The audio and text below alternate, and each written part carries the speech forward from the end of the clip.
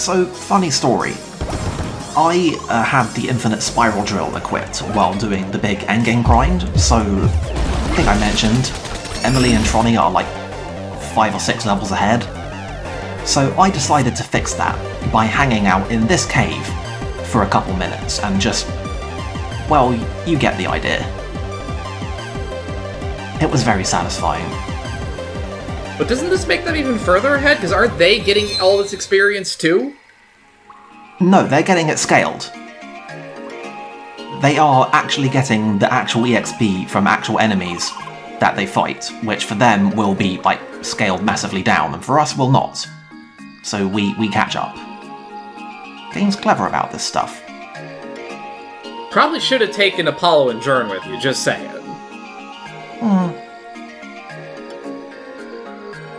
They can catch up themselves.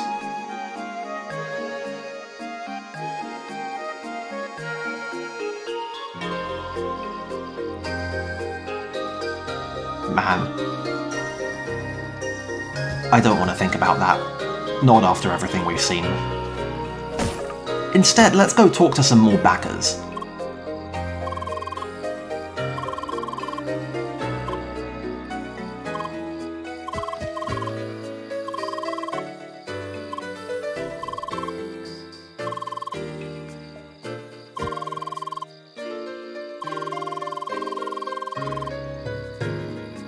That's right.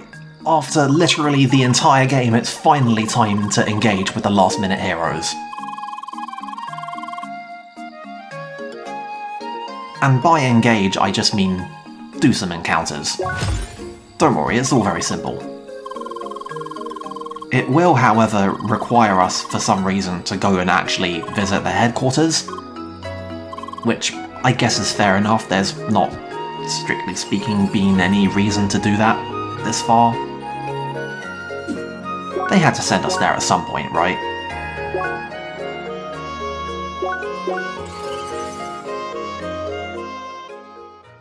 Anyway, I guess this means that there are, like, literally only two guilds actively using autumn residences. Maybe we're supposed to believe that there are people in the other buildings that we can't go into. Yeah, that seems... It seems like the guild system is thoroughly... I don't want to say unexplored, but it seems like a thing that was included like purely for flavor reasons, and they're just sitting there Pretty much. begging, begging you please not to think about it too hard about how you've literally only seen one guild in the entire game. Well, two now. Anyway, these these two, I'm not sure what they did, but they aren't just backers, they're actually in the special thanks. This, by the way, is the guy who made all the video guides that the one guy in the bar is plugging. It's actually that guy. So of course they have a whole quest. Also, pretty sure that he and Puella Doctor are some kind of a thing, IRL.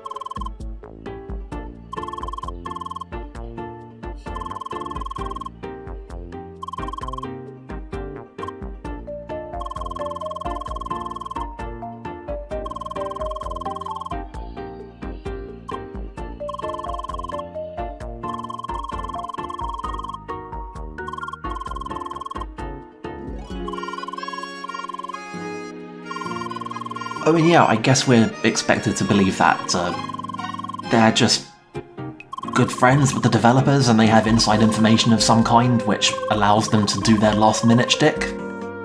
I don't really know what to make of that.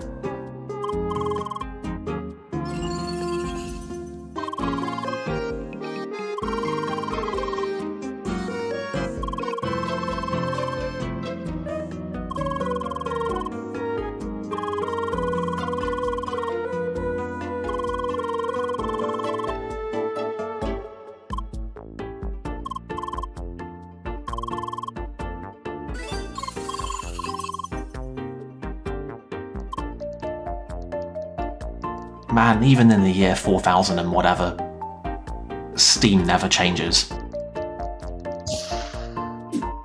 So yeah, this is, I guess, life with the last minute heroes. A whole bunch of just going on duty and waiting around for people to get into trouble. And then bailing them out. It's a niche, I guess. I mean, the role players do take uh, this sort of thing very seriously. I will give them that. Deadly serious. I choose to believe that we're going to get kicked out of their guild at some point because we're going to arrive with like a minute 30 before they would have otherwise died, and that's just unacceptable. I am pretty certain that they would rather actively let people die than show up even a second early.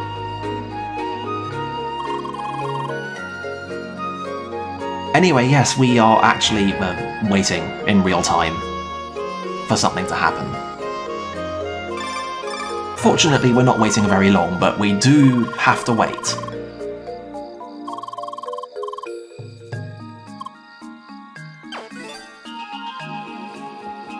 I'm a little disappointed that there's no timing gimmicks here. Like, we are scripted to show up at the last minute, but there's no real, uh, mechanical representation of having to time our arrival. Yeah, no, absolute missed opportunity that there wasn't like a two minute timer in the top right that was counting down, and you failed the quest if you got there before 60 seconds. Basically, like we've all we've all done the thing recruiting Shadow, right? We know how this goes. Uh, that was the alternative level three wave dash part. It's weird they make a big deal about it, so you're, you're charging up a dash, but basically it's just hitting people with the peel out animation. That's what actually does the damage. You don't move. So it's uh, a little weird to actually hit people with. Not a bad tech though.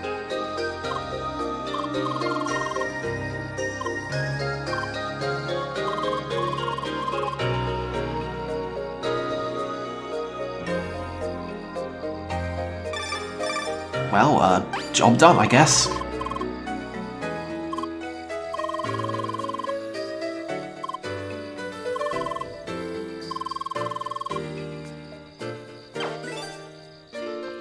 Let's do it again.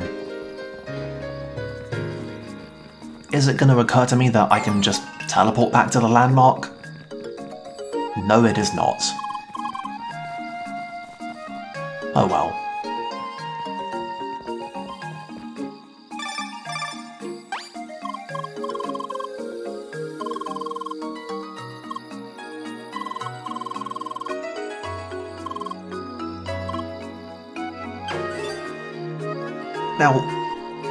Northeast Path is a couple screens away from here. I would like to note that uh, we literally just walked the one screen back from the previous path back to the cave-in.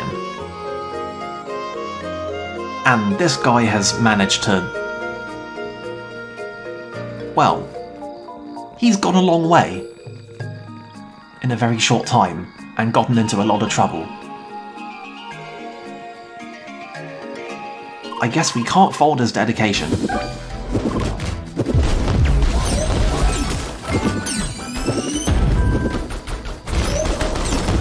By now, we're a... Well, you saw what our level is. We've got our tech situation thoroughly in order. We put some effort into getting the good gear from Rhombus Square, so uh, the unboosted samurai bugs are pretty firmly not a problem anymore.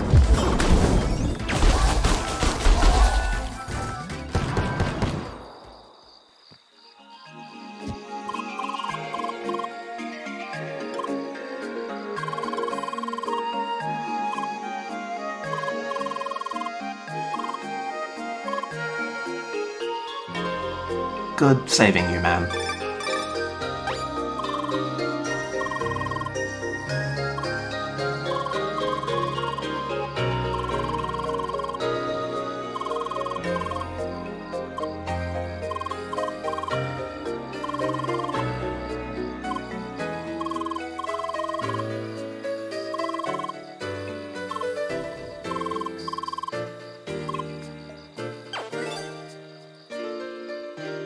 I should note that, again, Flower Lake is, well, here it is. this guy works quickly.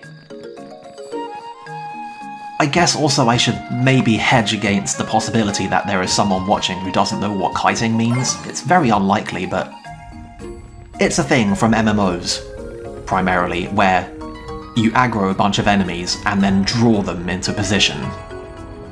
It's used for getting a larger number of enemies together than you'd otherwise would. I've done it in this LP, in this cave actually. It was very fun, if you can manage it, but uh, well, on the subject of managing it,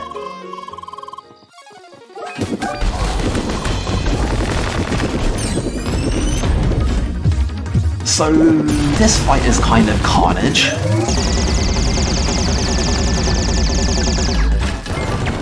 Even prepared as we are. I'm very sorry to Emilie, by the way. This, uh, probably a little bit rough. I know we've already done bug therapy, but... Hmm. this is pushing it. Godspeed, Emilie. Do your best. Incidentally, this is one of the very few quests in which uh, all of the available party members have dialogue for. But uh, Apollo and Joern's isn't as funny as Emilie and Troni's, so... Hmm. Well, I say Emilie and Troni, so it's really just the, the humour inherent to traumatising Emilie again. Everyone else is just a bit rote about this. I feel like that's a bit understandable. This is, what, like the 50th time that we've fought the, uh, the samurai bugs? Something like that. Anyway, that's not a real combat art. That's not a thing that anybody can do. This guy is clearly cheating again.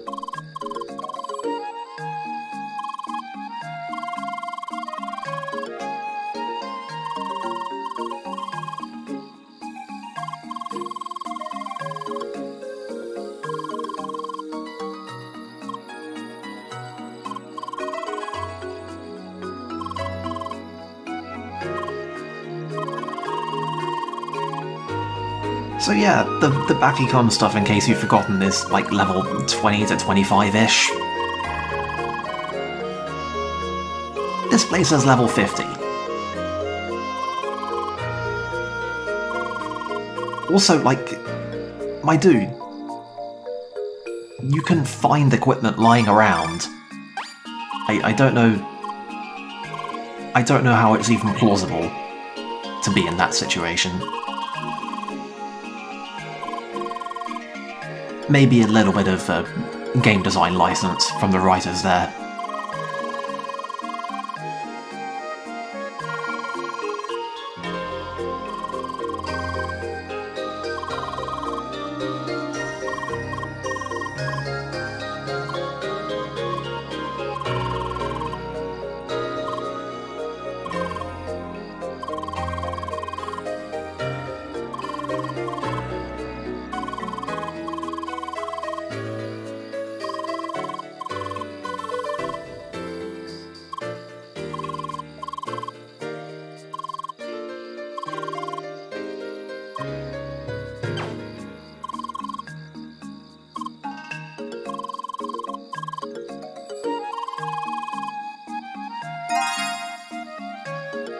That's how that one guy got blocked from the last minute heroes.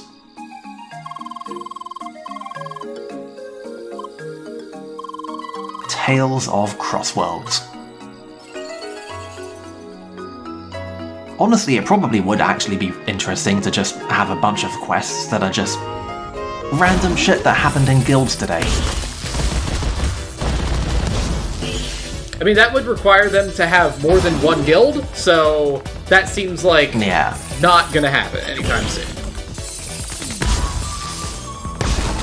Anyway, here's an example, in case we needed another one, of kiting. These groups are all normally totally independent, but they will all follow you. And uh, it's very dangerous to fight this many spiders at once, but uh, fortunately we've got excellent crowd control capabilities.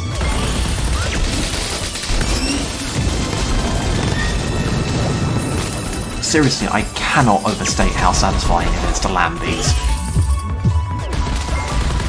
And with our current build, we can pretty much fire them off indefinitely. It's a hell of a thing.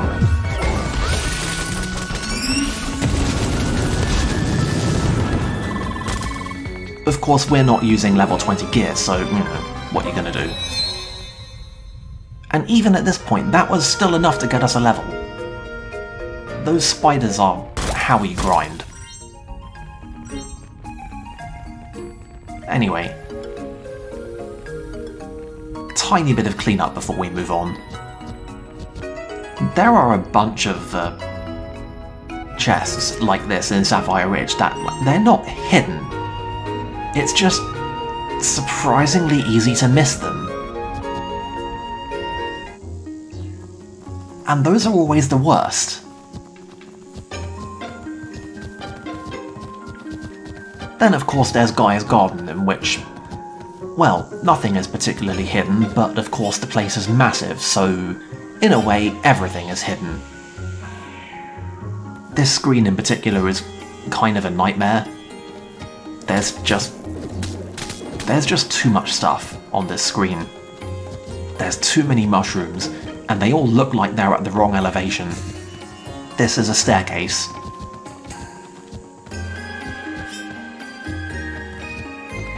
Making the wrong jumps here is like... incredibly irritating.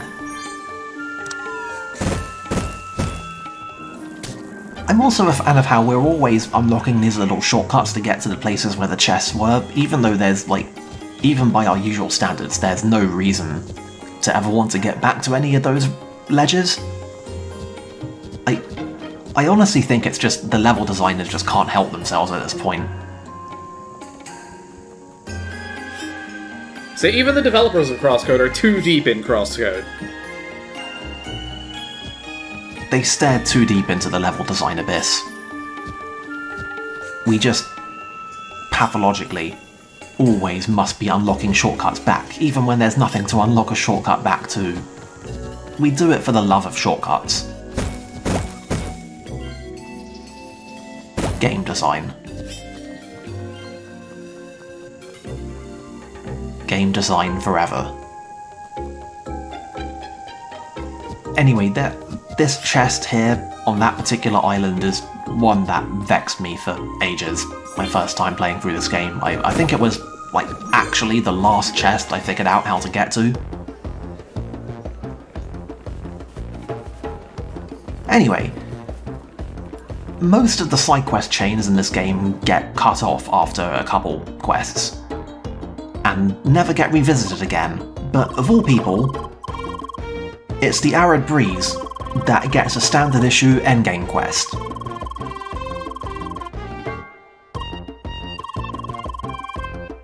Remember that temple that we partially unlocked? And it was like, yeah, there's really obviously a thing here, but we're gonna have to come back later.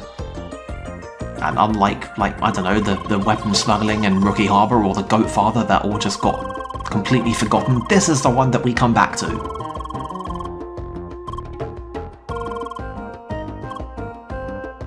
But uh, just between us, uh, just wait for the DLC, okay? We'll get there.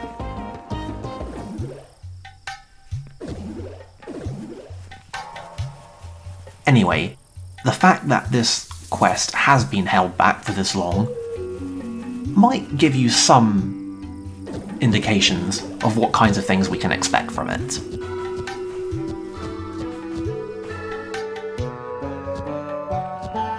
One of those things is going to be walking the whole way back through this, there's no shortcut. Not that it really needs a shortcut because there's not a whole lot to this place, but... Yeah, even with all the fights turned off, it's just a bit of a trek. I mean, it could be worse. Yes. I've seen things like this that have the unfortunate tendency to make you redo the puzzles. Hmm. Yeah, can you imagine?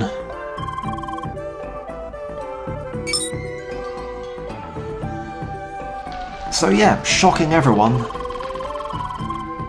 there's a path through this quicksand patch. Surprise extra dungeon!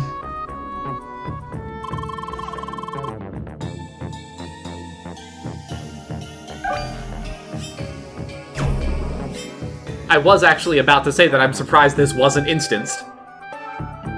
Right? The space above wasn't really much of a puzzle space. It was just a bunch of fights, and those are, like, it's fair enough to do those in a party. But, uh, this uh, really did actually need to be an instance. So yeah, welcome back to the bubble gimmick. This time crossed over with Wave.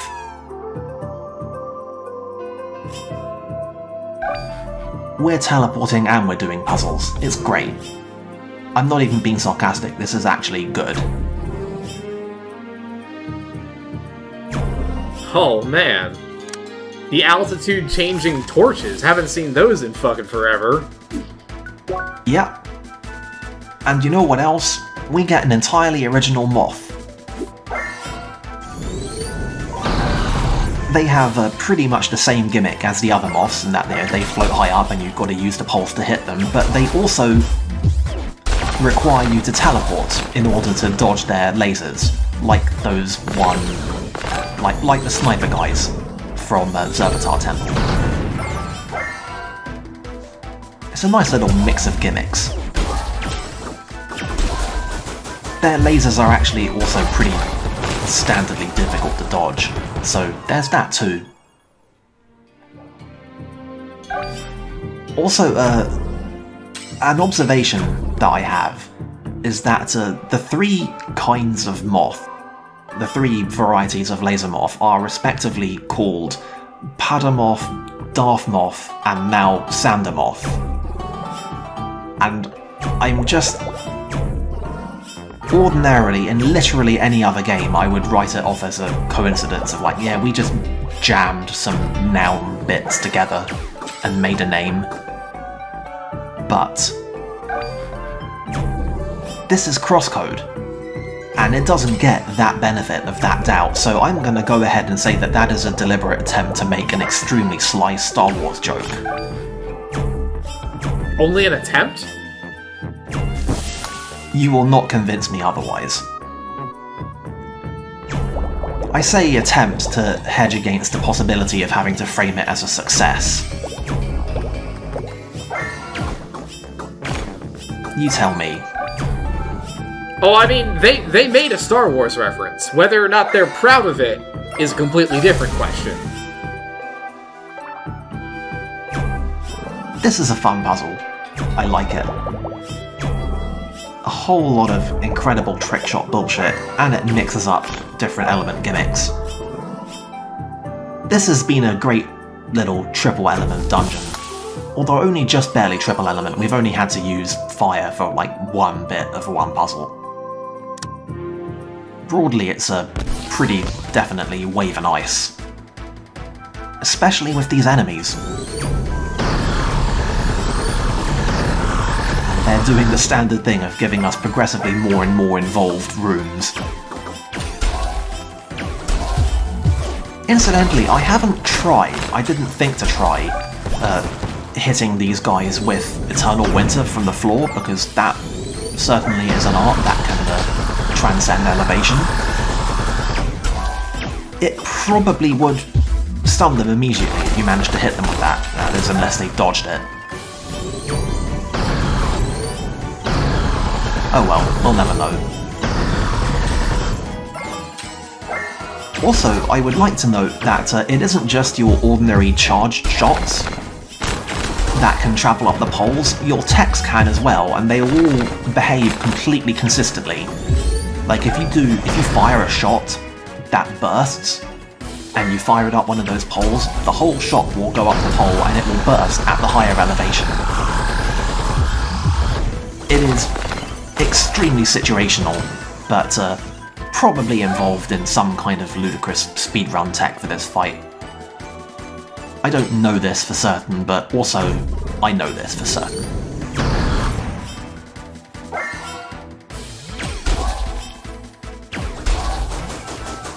By the way, did you notice that these moths all have uh, vision cones while they're targeting, whereas the sniper guys from Zir'vitar Temple didn't? This is important. You can't just teleport, you have to teleport from inside the vision cone to outside, otherwise it won't trick them.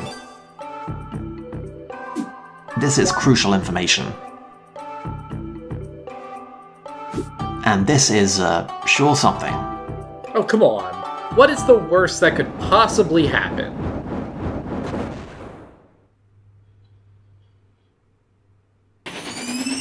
So, Sand Snowman? Sand Snowman. It's a Sandman. Fuck it, why not? So, this is uh, particularly video games.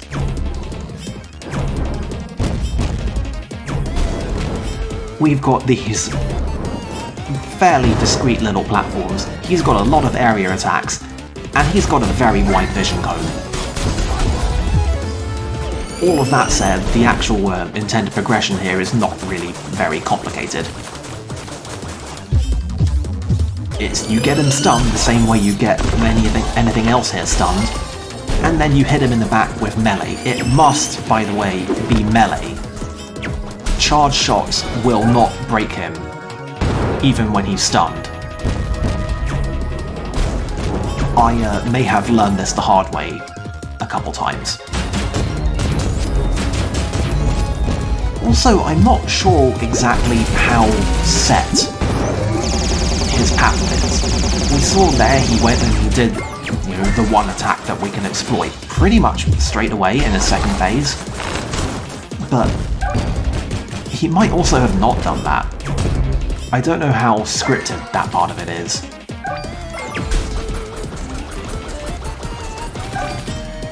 Another little mystery for the ages. Anyway, you might have noticed that this guy's, uh, kind of a issue. He hits pretty hard, they're not kidding about the level requirement. It's possible that uh, this might not be the first take of this fight that we're seeing. This was a heroic attempt at a skip, but just barely wasn't able to get it. Well, just barely by the standards of, you know, the typical damage output of Eternal Winter. Probably could have gotten it if I, like, properly spec for it and eaten some food. On the other hand, I think that uh, the fight from the, the Twilight Master fight has given us all the skip exposure that we really need to see in 1LP. Also, I really, really wanted to get a boss kill with Gatling Artillery.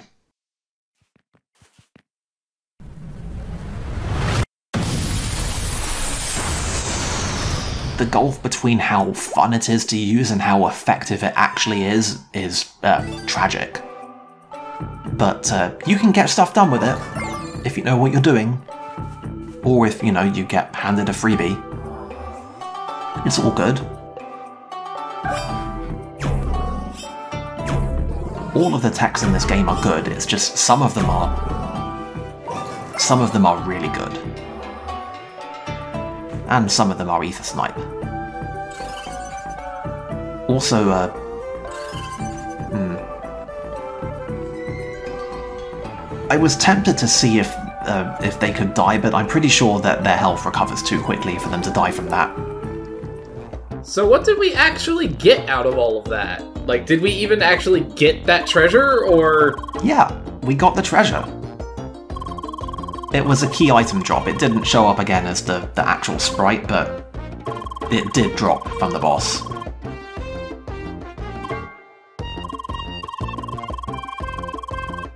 No one's really sure what the hell it is, but it's definitely very powerful and valuable and historically significant, so...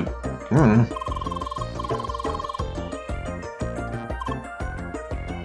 Job done. I don't know, looking at Lea's expressions, I'm pretty sure that flattery isn't completely useless against her.